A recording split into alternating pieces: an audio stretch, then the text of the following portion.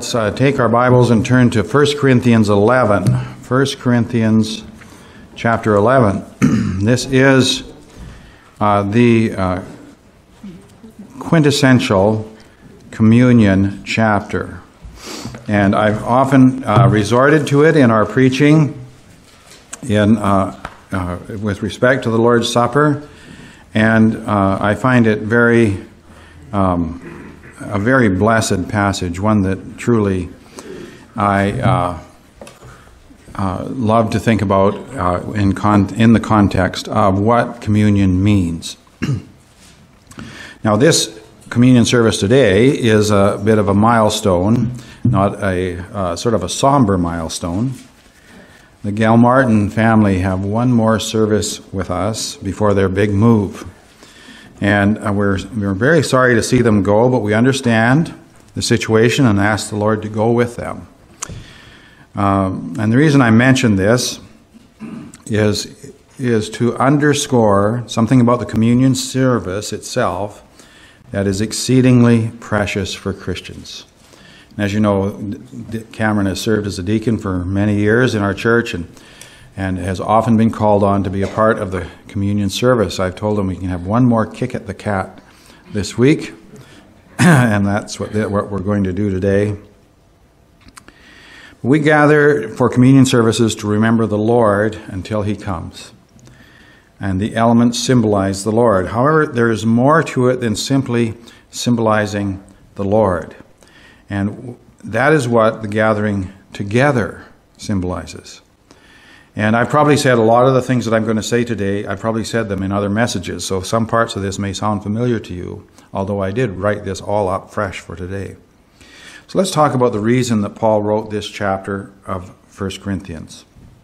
At least uh, from verse, I think it's about verse 18 or something like that. Yes, it's verse 18 or 17. Yes, 17 is where he starts this section. But our text is verse 29. I'm going to be looking at quite a few different verses as we go through this. Um, but the Corinthian church, Corinthian church had a lot of problems. As you work your way through the book, you will discover the many different problems they had and the ones that Paul addresses. The first one is a party spirit and disunity in the church. And so they were fighting with one another, sort of contending with one another, and there was sort of bickering back and forth amongst various groups in the church. And so after the first few chapters, Paul moves on to several other issues in the local church. In this chapter, he does come back to church unity, but in a different way from the first few chapters. And it's, it's in a specific, in a specific context. The problem here is division in the church over the way they took part in communion. And in countering the problem, Paul gives us the most extensive teaching concerning uh, communion in the New Testament. And so let's go ahead and read. I want to start in verse, oh, this turned off. I want to start in verse 23, and we're going to read through to uh, verse 34. For I received from the Lord that which I also delivered to you, that the Lord Jesus, in the night in which he was betrayed, took bread, and when he had given thanks, he broke it and said, This is my body, which is for you.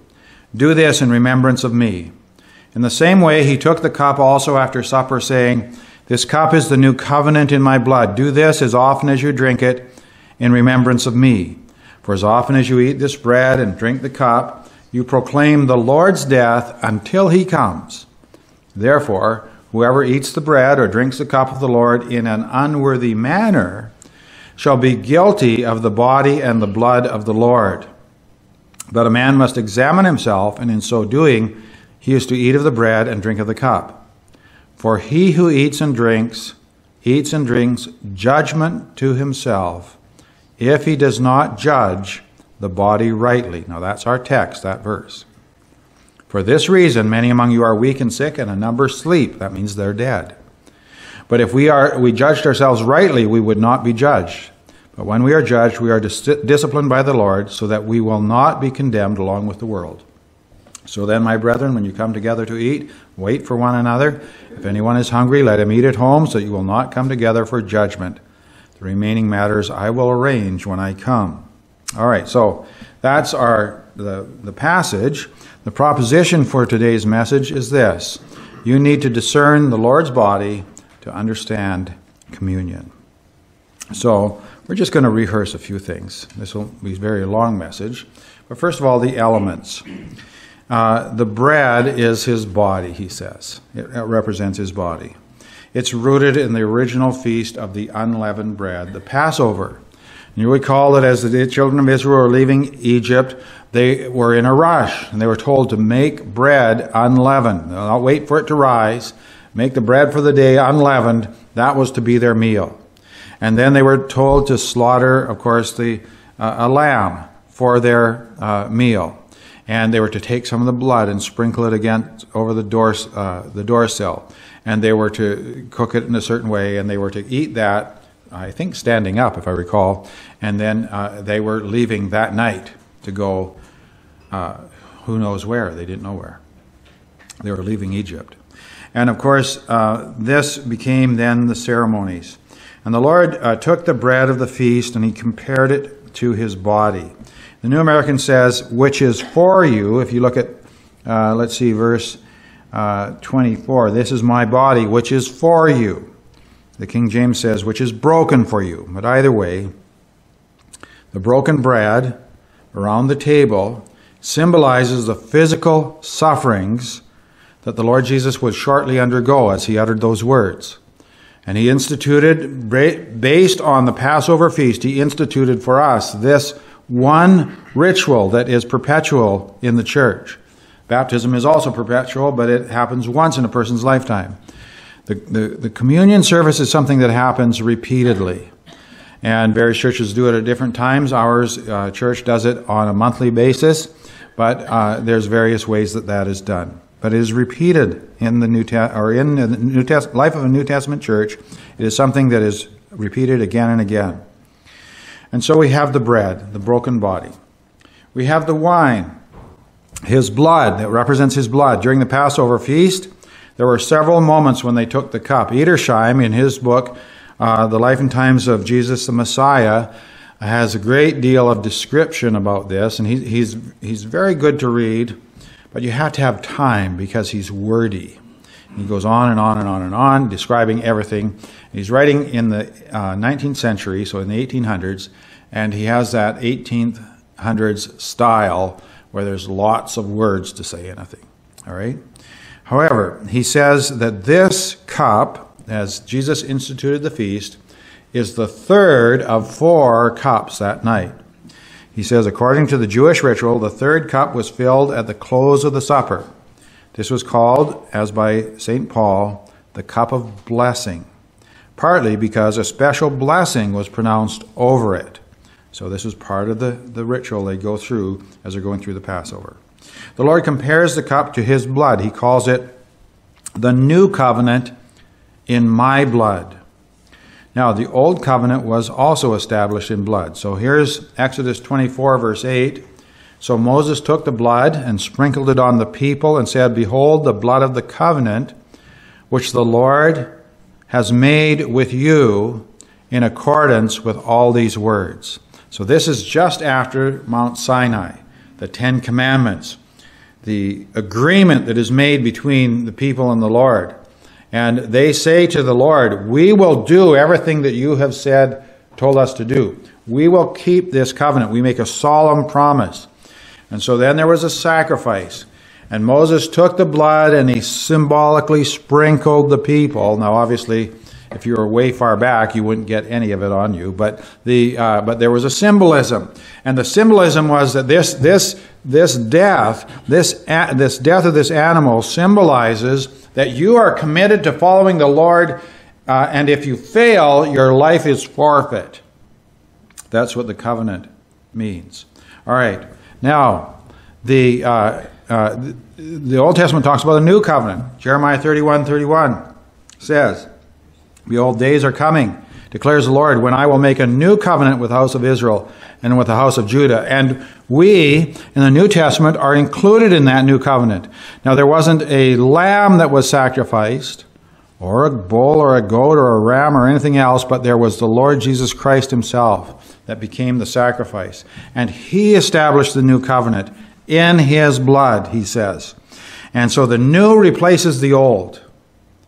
And that new sprinkling of blood, as we take part in that juice, we are saying that this covenant is established between us and God by the Lord Jesus Christ, and our lives are given over to Him. They belong to Him.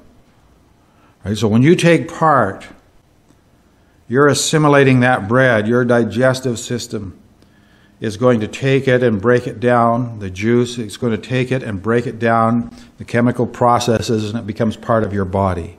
But there's a symbolism here that you are part of His body, that we are part of one body. All right? So, all of these things. Now, these two elements together refer uh, to suffering, and they refer to death. No covenant can come into effect without the death of a testator, just as Hebrews 9 Verse 16 says, For where covenant is, there must of necessity be the death of the one who made it. And so those are the elements. That's what makes up the communion service. But then there's also the gathering. That's the second aspect of this.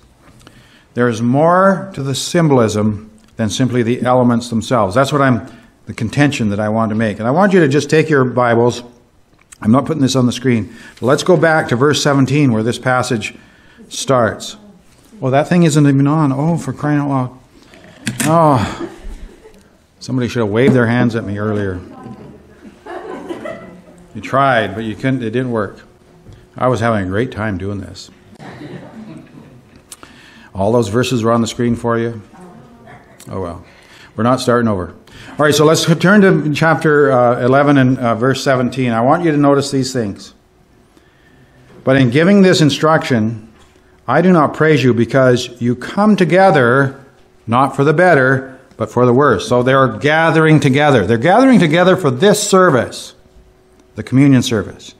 Look at verse 18. For in the first place, when you come together as a church, I hear that there that divisions exist among you, and in part I believe it. So they're coming together. Verse 20. Therefore, when you meet together, it is not to eat the Lord's Supper. Now, they were meeting together to eat the Lord's Supper. But he's saying, you're not really eating it because of the divisions that are within you. And then there's one final reference in verse 33 to coming together. So then, my brethren, when you come together to eat, wait for one another. So here he's talking about adjusting themselves so that they take part in the Lord's Supper properly, they observe the elements properly, they, they symbolize everything properly. But this thing about coming together, the, the intervening verses between verse uh, 17, 18, and 20, and then verse 33 speak about uh, the, uh, the details of their problematic gathering and the ideal of the communion service. And my point in illustrating, highlighting these verses is that the gathering itself symbolizes something. When the gathering is flawed, the church suffers and the Lord is dishonored. So, verses um, uh, 27 to 32, which we read earlier. Verse 27 He who eats the bread and drinks the cup in an unworthy manner shall be guilty of the body and the blood of the Lord. What does that mean? That means if you take part in an unworthy way, you are you, it's as if you have put him to death. You are guilty of the body and the blood of the Lord. So it's a serious, it's a serious matter. And so then he's called, the partaker is called, verse 28 and 29, a man must examine himself, in so doing he is to eat of the bread. For he who eats and drinks, eats and drinks judgment to himself if he does not judge the body rightly. Back to our text. So the crime is not judging the body rightly. All right? Or the King James puts it, not discerning the Lord's body, not seeing the Lord's body. So the problem is not simply a misunderstanding of the elements. I think they understood the elements just fine in terms of what they strictly corresponded to. The bread corresponded to his body, the wine corresponded to his blood. But they forgot what the gathering together corresponded to. You see, we take part of this meal not individually. We don't. Uh, there's some times that they, they, some churches will take communion to their uh, shut-ins who are away from church. That really doesn't picture what you're supposed to do. You're supposed to do this gathering together as a body. Now, if you are coming together and there is a division in your church, you aren't discerning the body. You see, you aren't judging the body correctly. So the division that they were having was uh, that. Um, let's see. I think I might be going to talk about this in a minute, so I might be getting ahead of myself. So just a second. My point is, uh, I guess here I just want to say it is misunderstanding what the Lord meant by what the elements represent in all in the whole picture. The, the, the, the elements themselves and the gathering together to partake of the elements. Those are the two things that are crucial for our understanding of what this service is about. So then the Lord's body, that's the last point that we want to talk about. So, what is the Lord's body in chapter 11, verse 29? He who eats and drinks, eats and drinks judgment to himself if he does not judge the body rightly.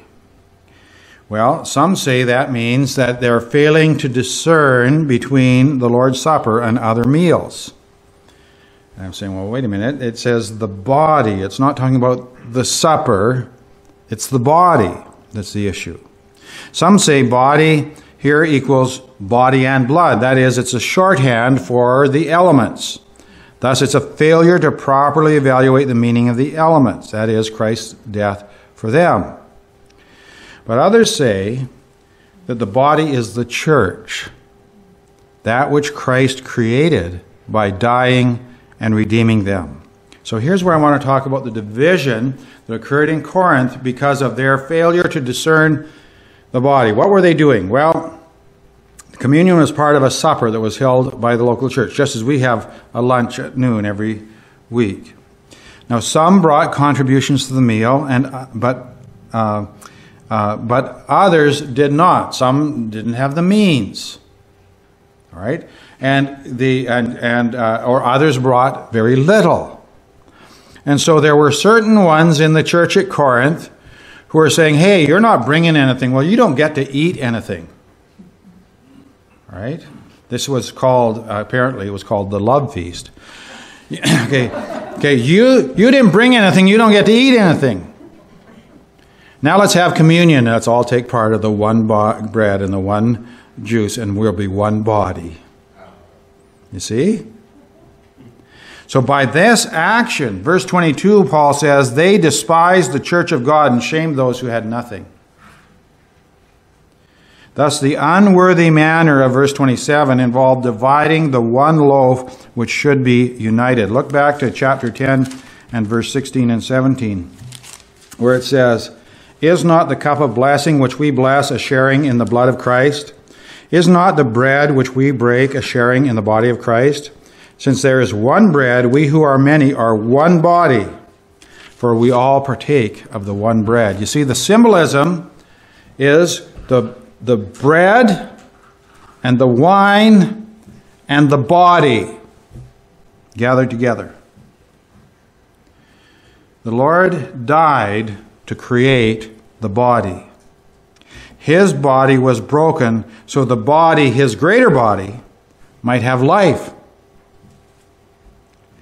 His blood was shed so that the body, his greater body, all of those he'd bring with him, might have life.